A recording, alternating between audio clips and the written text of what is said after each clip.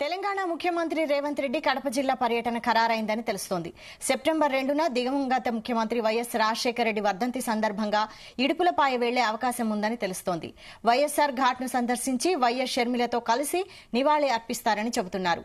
ఏపీలో కాంగ్రెస్ బలోపేతంపై Congress high command focus చేసింది.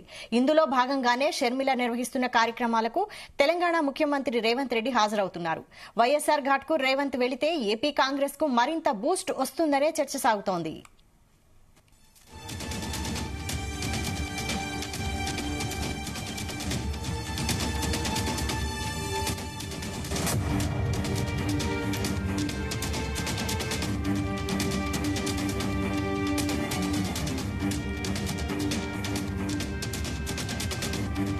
తెలంగాణ ముఖ్యమంత్రి రేవంత్ రెడ్డి కడప జిల్లా పర్యటన ఖరారైందని తెలుస్తోంది. సెప్టెంబర్ రెండున దివంగత ముఖ్యమంత్రి వైఎస్ రాజశేఖర రెడ్డి వర్ధంతి సందర్భంగా ఇడుపులపై వెళ్ళే అవకాశం ఉందని తెలుస్తోంది. వైఎస్ఆర్ ఘాట్ను సందర్శించి వైఎస్ షర్మిలతో కలిసి నివాళి అర్పిస్తారని చెబుతున్నారు. ఏపీలో కాంగ్రెస్ బలోపేతంపై కాంగ్రెస్ హైకమాండ్ ఫోకస్ చేసింది. ఇందులో భాగంగానే షర్మిల నిర్వహిస్తున్న కార్యక్రమాలకు తెలంగాణ ముఖ్యమంత్రి రేవంత్ రెడ్డి హాజరవుతున్నారు. వైఎస్ఆర్ ఘాట్కు రేవంత్ వెళితే ఏపీ కాంగ్రెస్కు మరింత బూస్ట్ వస్తుందని చర్చ సాగుతోంది.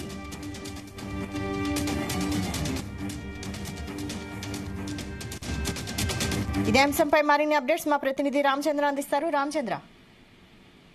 తెలంగాణ సీఎం రేవంత్ రెడ్డి కడప జిల్లా పర్యటన ఖరారైనట్లుగా సమాచారం అందుతోంది. అయితే సెప్టెంబర్ రెండున దివంగత ముఖ్యమంత్రి వైఎస్ రాజశేఖర్ రెడ్డి వర్ధంతి సందర్భంగా ఇరుపులపాయకు సీఎం రేవంత్ రెడ్డి వస్తున్నట్లుగా ఊహాగానాలు వస్తున్నాయి. అయితే దీనికి సంబంధించినటువంటి ఆంధ్రప్రదేశ్ చీఫ్ పిసిసి చీఫ్గా ఉన్నటువంటి వైఎస్ షర్మిల ఇంకా ఎటువంటి అధికారిక ప్రకటన వెలువడించలేదు.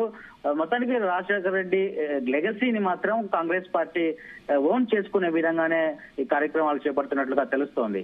అయితే జూలై ఎనిమిదవ తారీఖు వైఎస్ రాజశేఖర రెడ్డి జయంతి ఏదైతే జరిగిందో అప్పుడు కూడా విజయవాడలో ఒక పెద్ద సభ ఏర్పాటు చేసి జయంతి సభ ఏర్పాటు చేసి అక్కడ రేవంత్ రెడ్డి అలాగే తెలంగాణ కేబినెట్ మొత్తం రావడాన్ని కూడా మనం చూసాము అప్పుడు కాంగ్రెస్ పార్టీకి మంచి ఊపు వచ్చింది. అలాగే సీఎం గా షర్మిలను చేస్తానంటూ కూడా రేవంత్ రెడ్డి చెప్పారు. షర్మిల కోసం మేము ఏమైనా చేయడానికి సిద్ధంగా ఉన్నాం? ఏపీలో కాంగ్రెస్ పార్టీ అధికారమే అధికారం చేపట్టే విధంగా మేము చర్యలు తీసుకుంటున్నామని చెప్పి కూడా ఆయన చాలా భరోసా ఇస్తూ మాట్లాడినటువంటి ప్రసంగం చూసాం.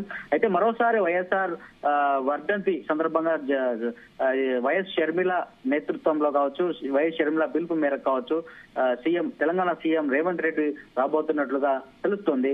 మరి సీఎం రేవంత్ రెడ్డి విడుపులపాయకు మొదటిసారిగా రాబోతున్నారు. ఒకవేళ వస్తే మాత్రం గట్టి భారీ భద్రతా ఏర్పాట్లు కావచ్చు అలాగే స్వాగత ఏర్పాట్లు కూడా చేసే అవకాశాలు కనిపిస్తున్నాయి. అయితే ఇప్పటివరకు అధికారికంగా ఇటు ఇక్కడ పోలీస్ డిపార్ట్మెంట్ కానీ ప్రభుత్వ యంత్రాంగానికి కానీ తెలంగాణ సీఎం వస్తున్నట్లుగా ఎటువంటి అధికారిక ప్రకటన కూడా రాలేదని చెప్పి కూడా అధికార వర్గాలు అయితే చెప్తున్నాయి.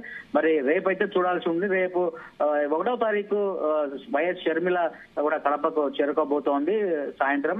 అలాగే ఆమె ఒకటో తారీఖు రెండవ తారీఖు మూడవ తారీఖు ఆ మూడు రోజులు కూడా కడప జిల్లా నాయకులకు కార్యకర్తలకు కూడా అందుబాటులో ఉంటారని చెప్పి కూడా తెలియడం జరిగింది. అయితే మరి రేవంత్ రెడ్డి వస్తే మాత్రం కాంగ్రెస్ పార్టీకి ఆంధ్రప్రదేశ్లో మంచి బూస్ట్ బూస్టింగ్ ఇచ్చే పరిస్థితి ఉంటుంది. ఎందుకంటే తెలంగాణలో కాంగ్రెస్ పార్టీ అధికారం ఉంది. రేపు రెండు వేల ఇరవై తొమ్మిదిలో జరిగే ఎన్నికల్లో కూడా కాంగ్రెస్ పార్టీ అన్ని స్థానాల్లో పోటీ చేయబోతుంది కాబట్టి రేపు సీఎం రేవంత్ రెడ్డి రేపు ఎన్నికల దగ్గరుండి కూడా పర్యవేక్షించే అవకాశాలు ఉన్నాయి ఆ గతంలో రేవంత్ రెడ్డి కూడా చెప్పడం జరిగింది. కాంగ్రెస్ పార్టీ ని ఏపీలో అధికారమే లక్ష్యంగా పనిచేయబోతున్నాం అని చెప్పి కూడా చెప్పడం జరిగింది. మరి రేవంత్ రెడ్డి వైఎస్ఆర్ ఘాట్ ఏదైతే ఇడుపులపాయలో ఉందో ఇడుపులపాయకు చేరుకుంటే మాత్రం అక్కడ గట్టి భద్రత ఏర్పాట్లు కావచ్చు అలాగే కాంగ్రెస్ మొత్తం రాష్ట్ర వ్యాప్తంగా ఉన్నటువంటి కాంగ్రెస్ పార్టీ నాయకులు వైఎస్ఆర్ అభిమానులు అందరూ కూడా కాంగ్రెస్ పార్టీలో ఉన్నారు. వారందరూ కూడా రెండవ తారీఖున విడుపులపాయకు చేరుకునే అవకాశం ఉంది. దీనికి సంబంధించినటువంటి అధికారిక ప్రకటన కూడా వెలువడాల్సి వెలువడాల్సినటువంటి సమయం అయితే ఉంది. మరి చూడాలి. రేవంత్ రెడ్డి మరోసారి షర్మిల కోసం ఆంధ్రప్రదేశ్కు రాబోతున్నారు అట్లా వైఎస్ఆర్ ఉన్నటువంటి లెగసీని ఇప్పటికే వైఎస్ షర్మిల సొంతం చేసుకొని పార్టీలో ముందుకు వెళ్తున్నటువంటి పరిస్థితి ఉంది. అయితే అదే అదే రోజు వైఎస్ఆర్ చీఫ్ వైఎస్ఆర్ సిపి చీఫ్గా ఉన్నటువంటి మాజీ సీఎం జగన్మోహన్ రెడ్డి కూడా వచ్చే అవకాశాలు ఉన్నాయి రెండవ తారీఖు. ఆయన ఎక్కడున్నా కూడా ఆయన తండ్రి వర్ధంతికి కూడా వచ్చే అవకాశాలు ఉన్నాయి. మరి ఆ టైమింగ్స్ ఎట్లా సెట్ చేస్తారు అనేది కూడా చూడాల్సినటువంటి అంశం. మరి మొత్తానికి రేవంత్ రెడ్డి రేపు రెండవ తారీఖు రూపాయికి వస్తే అక్కడ ఆయన ఏం మాట్లాడతారు అనేది కూడా ఆసక్తిగా ఉందని చెప్పుకోవచ్చు వైశాలి. అయితే రాజశేఖర్ రెడ్డి వర్ధంతికి తెలంగాణ నుంచి రేవంత్ రెడ్డితో పాటు ఇంకా నేతలు ఎవరైనా హాజరు కానున్నారా? యా ఖచ్చితంగా గతంలో జూలై ఎనిమిది జరిగినటువంటి జయంతి సభకే మొత్తం కేబినెట్ మొత్తం కూడా కదిలి వచ్చినటువంటి పరిస్థితి మనం చూసాం అయితే మరోసారి వర్ధంతికి కూడా మొత్తం తెలంగాణలో ఉన్నటువంటి సీఎం జ- సీఎం ముఖ్యమంత్రితో పాటు కేబినెట్లో ఉన్నటువంటి అలాగే వైఎస్ఆర్కు అభిమానులకు అలాగే వీర విధేయులుగా ఉన్నటువంటి బట్టి విక్రమార్క అలాగే కొండ సురేఖ మిగిలిన కొంతమంది కేబినెట్ మంత్రులు కూడా వచ్చే అవకాశం ఉంది. ఇంకా అయితే అధికారికంగా ఎటువంటి ప్రకటన వెలువడలేదు అధికారుల నుంచి. ఇంకా దానికోసమే ఎదురు చూస్తున్నారు.